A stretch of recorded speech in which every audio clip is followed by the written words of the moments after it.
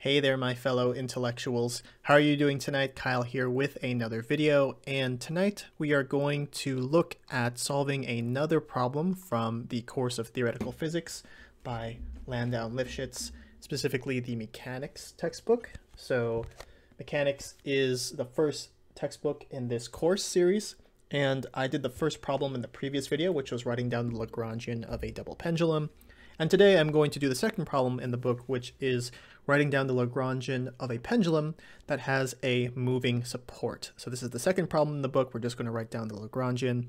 And effectively, you have this pendulum here where you have this mass m1, which is allowed to move freely along this line here. And then you have this uh, pendulum of mass 2 attached with a massless rigid string or, or rod, whatever. It doesn't really make a difference of length L. And this thing is going to move, this M1, and then the pendulum is going to swing like this while the mass M1 is moving. And so we are going to write down the Lagrangian, and again, with the Lagrangian, you'll be able to derive what is known as the equations of motion, and you can understand how the motion of M1 and M2 evolve over time. But we're just going to be focused on writing down the Lagrangian, which is defined to be this, this fancy L here, and it is determined to be the difference of kinetic energy T minus potential energy V. And um, we're going to use the following convention, or at least I'm going to choose the following convention in this problem. I'm going to define this upper ceiling here where M1 is allowed to move along this line. Uh, we're going to say that's the zero point. That's going to be where V is equal to zero. That's where the potential energy is equal to zero. We'll also say that Y is equal to zero here to be in line with that that zero point potential energy. We'll call the line, this, this horizontal line here, the, the x-axis, and so the m1, the m1 mass is going to have a coordinate of x and 0, so y is always 0 on this line, this never changes. And we're going to define the convention that negative y points downward, and for m2, we're going to say that it's at a position of x2 and y2, and we'll specify what those things are exactly. Now, one of the first things that we can do in this problem is actually do some trig and work out the sides of this triangle. So this side is going to be L cosine of phi, and then the bottom leg is going to be L sine of phi, just based on trigonometry here, because this is the adjacent side to the angle phi, and this is the opposite side to the angle phi. So we'll have L cosine phi L sine phi. And now what we need to do is I'm going to write down the Lagrangian in a little bit more of a specific way. So t minus v can be expanded as t1 plus t2 because we have two point masses here. And we can subtract v1 plus v2 because again we have two point masses here. So this represents the kinetic energy of mass 1, the kinetic energy of mass 2, and then the potential energy of mass 1 and 2 respectively.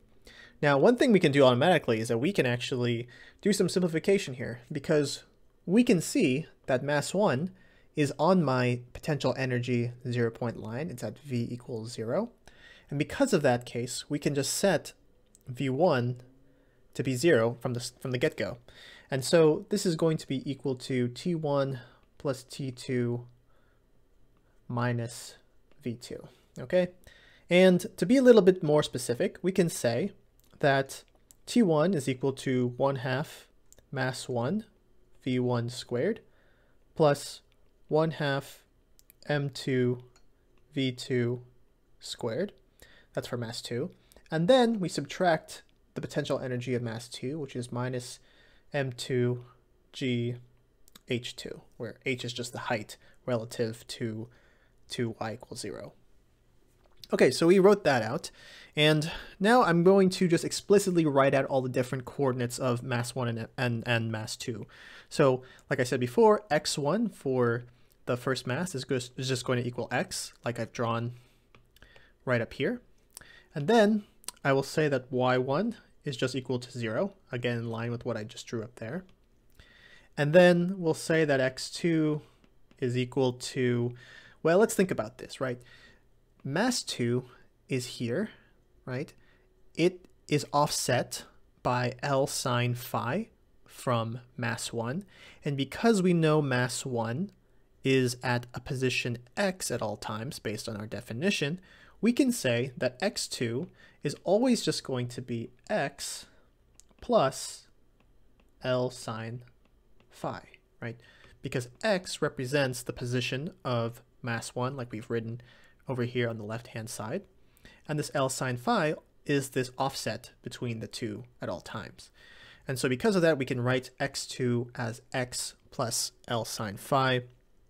And then we can say that y2 is equal just to the negative of this, this length right here because that's below the y-axis. I've defined this to be the negative y-axis right there.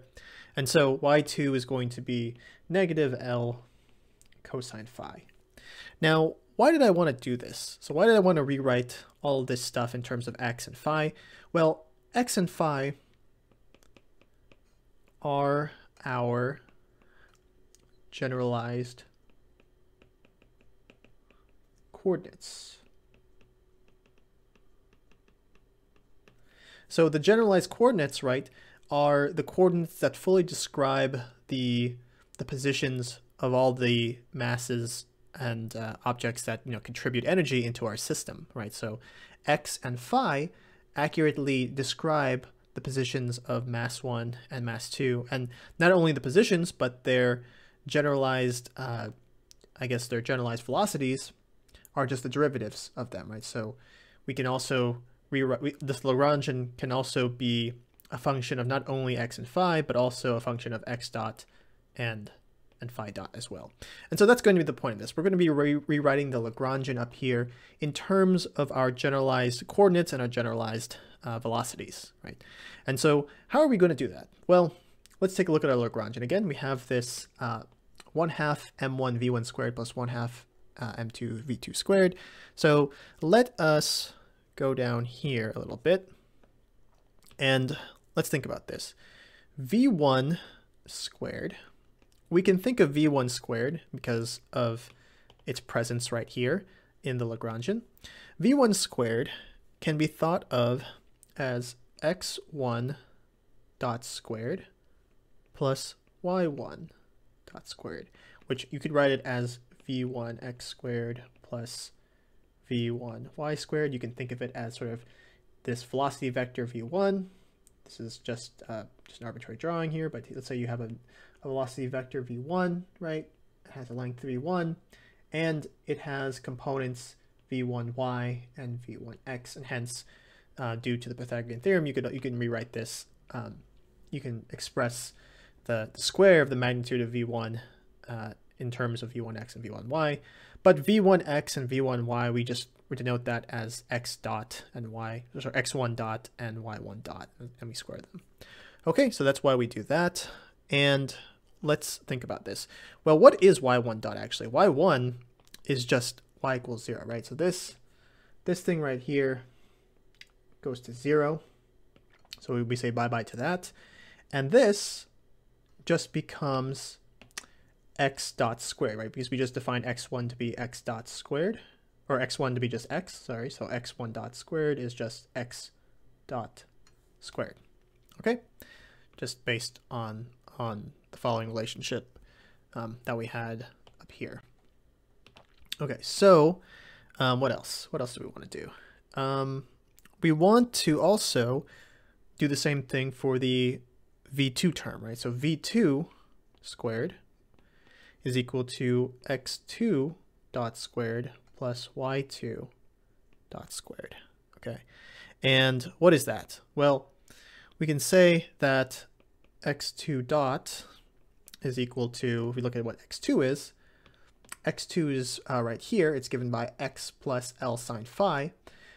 That means the first term will just be x dot, plus, now we take the derivative of L sine phi, Okay, so L sine phi, what is that derivative? So derivative will just be L cosine of phi, but remember, you know, phi is a function of time, and so we have to apply the chain rule and multiply it by the derivative of phi with respect to time. So we get phi dot. So that's what x2 dot is. We just took the derivative of this term up here. And because of the chain rule, we we spit out a phi dot, right? And now we have to get y dot, or y2 dot, sorry, y2 dot, which is, again, what is y2? y2 is just negative L cosine phi. And so if we take the derivative of this and we obey the chain rule, we should get in L sine phi phi dot. Again, that's just taking the derivative of this. There's this negative sign out here. Um, effectively, you could have this. This essentially looks like negative L times the derivative time derivative of cosine of phi, right? Cosine of phi, the derivative of that is negative sine phi, so it's negative L, uh, negative sine phi, phi dot, and then the the minus signs are going to give you a plus sign because they cancel each other out, and that's exactly what we have what we have down here. So very good, very good. That's what we have now. We have uh, both all we have both the x2 dot and the y2 dot, and so if we square them, let's do some squaring. Um, let's go down here. x2 dot squared. That's just x dot plus l cosine phi uh, phi dot squared, and should give you this. Just using normal al algebraic rules. And then plus a 2x dot phi dot L cosine phi. Then we have y2 dot squared is just equal to this.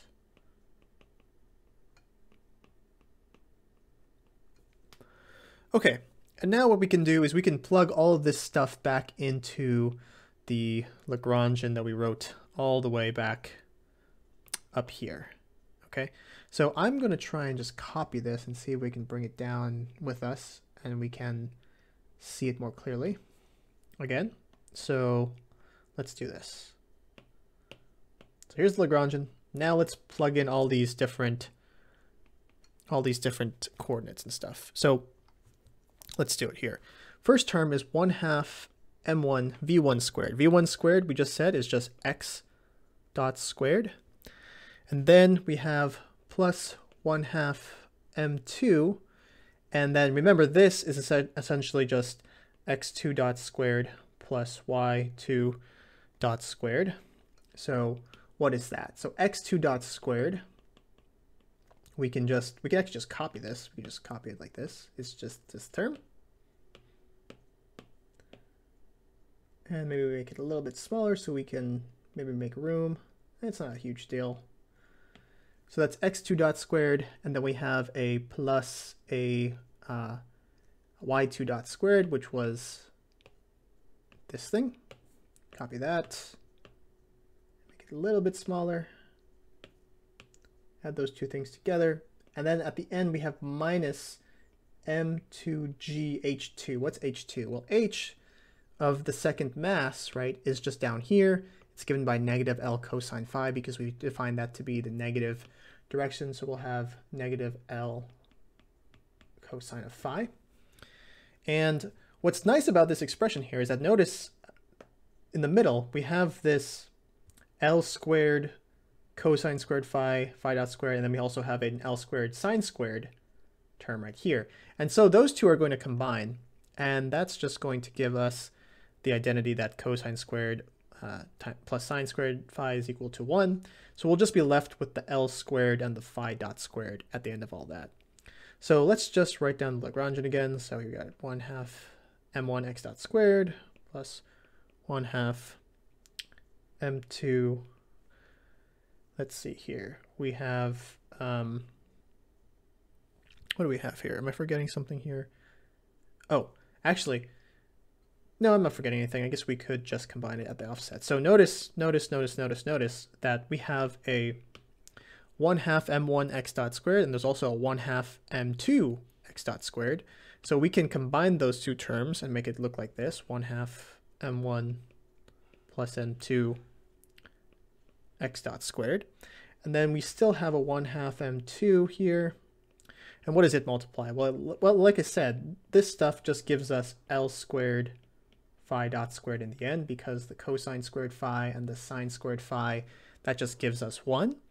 And so we'll have L squared phi dot squared plus the stuff in the middle. That's 2L x dot phi dot cosine of phi. And then this term here becomes a, uh, a positive term because of the two minus signs. So we'll have m2g L cosine of phi. And that, everybody, is the Lagrangian of our system. So there you go. That wasn't as long as the double pendulum problem, but I hope it was still as informative and it helped you uh, see the process of how I go about deriving the Lagrangian for this problem. And with that, I will be concluding the video. Thank you guys so much for watching. I had a lot of fun doing this and stay tuned for more videos like this in the future. And I hope you have a wonderful night. Take it easy, everyone.